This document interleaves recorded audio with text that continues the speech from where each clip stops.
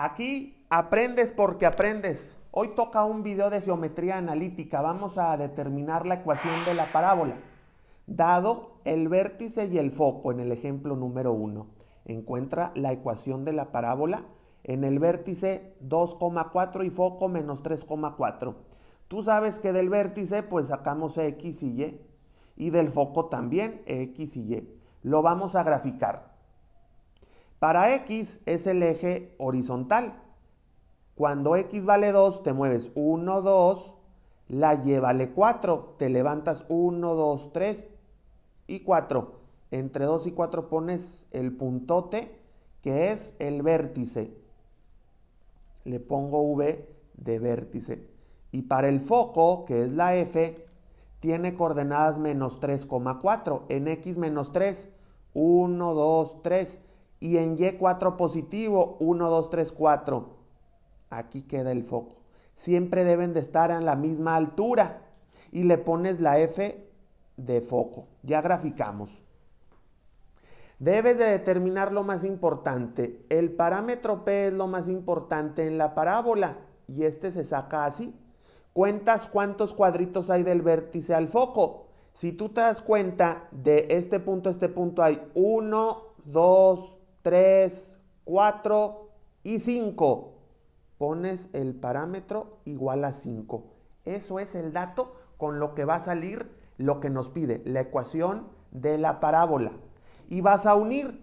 Si tú unes el vértice y el foco, te queda una línea horizontal, porque está en el eje de la X. Por lo tanto, la parábola es horizontal. Del vértice, ahora sacas H y K. La H es el valor de 2 y la K es el valor de 4. Y la ecuación horizontal de la parábola es esta. En su ecuación ordinaria dice el formulario que es y menos k al cuadrado es igual a 4 por P por X menos H y ya. Esta ecuación memorízatela o anótala en tu formulario. Es la que se emplea siempre en estos problemas. ¿Tenemos la K? Sí. ¿Tenemos la P? Sí. Y tenemos la H también. Estos elementos los vamos a reemplazar. Un dato muy importante antes de obtener la ecuación es el lado recto. El lado recto por fórmula dice que es 4p. Vas a sustituir así 4 por la p. La p vale 5. Por lo tanto, 4 por 5 es 20. Eso es el lado recto. Pero te vas a quedar con la mitad. Vas a decir, la mitad de 20 es 10. Y la otra mitad, pues también es 10. Y haces lo siguiente. Ahora, de manera perpendicular, es decir, de manera vertical, a partir del foco te mueves 10 hacia arriba. 10 positivos y 10 negativos. Como aquí no me cabe, voy a decir que este 10 hacia arriba, pues quedaría por acá. ¿Sí? Por efectos de que ya no cabe en el gráfico. Y el menos 10 me bajo 1, 2, 3, 4, 5, 6, 7, 8, 9, 10. Quedaría por aquí. ¿Estás de acuerdo? 1, 2, 3, 4, 5, 6, 7, 8, 9, 10. 1, 2, 3, 4, 5, 6, 7, 8, 9, 10. Siempre en el foco. Y estos puntos al unirlos ya forman el gráfico de la parábola. Y mucha atención, acuérdate que es horizontal porque quedó así la línea entre el vértice y el foco. Estas se dicen las ramas de la parábola. Si las ramas están apuntando hacia X negativo, porque esta rama apunta hacia X negativo y esta también, la P es negativa, se lo agregas. Ya tenemos la gráfica. Entonces sustituimos Y menos la K, vale 4. Elevas al cuadrado. 4 por la P vale menos 5. Por X menos H, la H vale 2 bajas, bajas, bajas y multiplicas 4 por 5 negativo menos 20 por x menos 2. Esta ecuación, la que no se resuelve, se dice ecuación ordinaria. Muchos profes es la que quieren, la ordinaria, pues ya estaría correcto. pero generalmente hay que resolverla y se resuelve así, elevando los cuadrados. Aquí recuerda que la K es 4, ¿eh? Pongo 4. Y al cuadrado es Y cuadrada. Menos 4. 4 por 2 es 8 y le pones la Y. Más 4 al cuadrado es 4 por 4, 16. Siempre es positivo. Y acá multiplicas 20 por X menos 20X.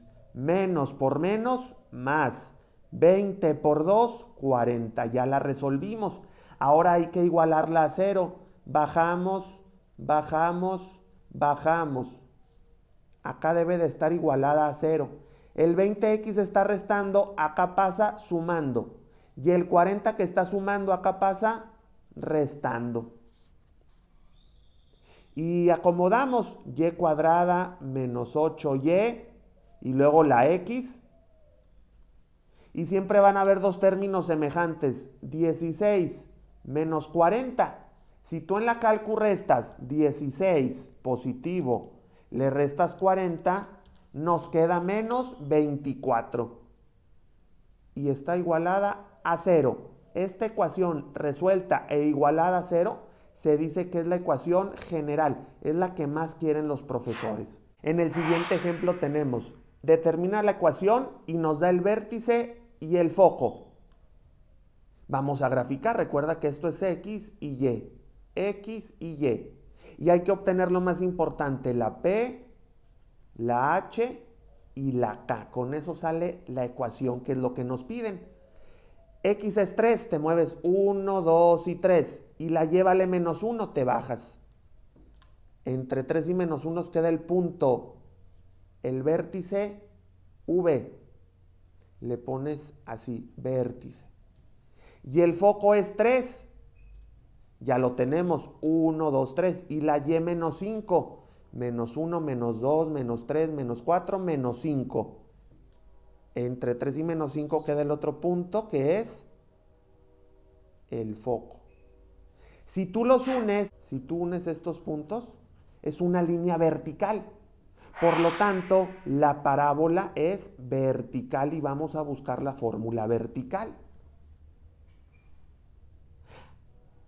Para la P, recuerda que cuentas los cuadritos. ¿Cuánto hay del vértice al foco? Hay 1, 2, 3 y 4. Y te lo voy a decir de una manera más fácil. Siempre empiezas a contar del vértice. Como del vértice al foco te bajaste, o sea, te vas para abajo, tú sabes que este es el eje negativo de la Y. La P es menos 4, así. Pero también lo puedes, como te dije ahorita, con el lado recto. Lado recto es 4 por P.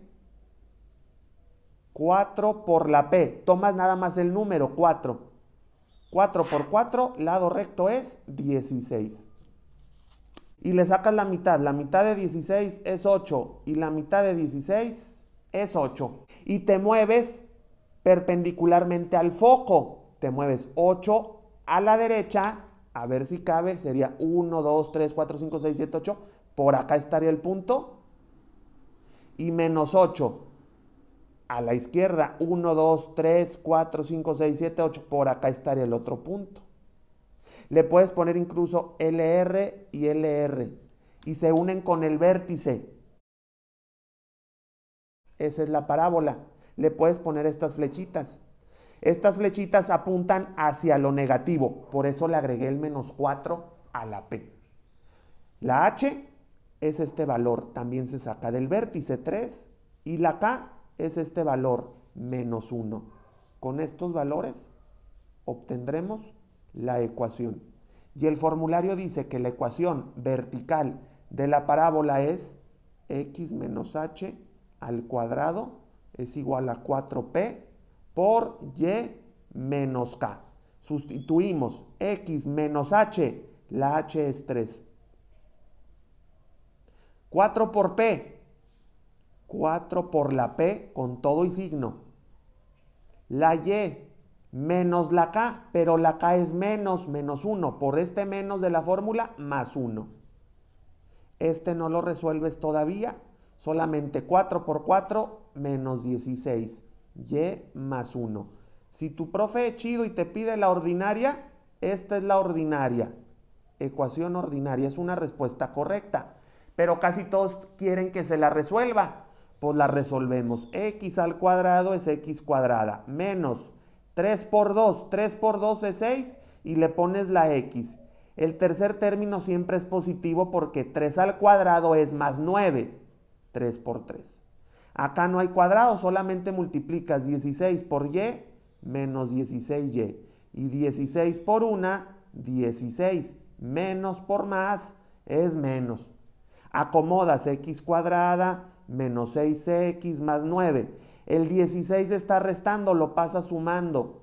Y el 16 también está restando, lo pasa sumando para que esté igualada a 0. ¿Por qué 0? Porque estos dos los moviste. Y finalmente reduces x cuadrada menos 6x más 16y y los términos semejantes 9 más 16 los simplificas. 9 más 16 es 25 igual a 0. Esta ecuación ya es la correcta y se llama ecuación general porque está igualada a 0 y es de la parábola. Si te gustó el video, dale like, compártelo y déjame tus comentarios abajo. Te envío un saludo desde México y suscríbete a Emanuel Asesorías.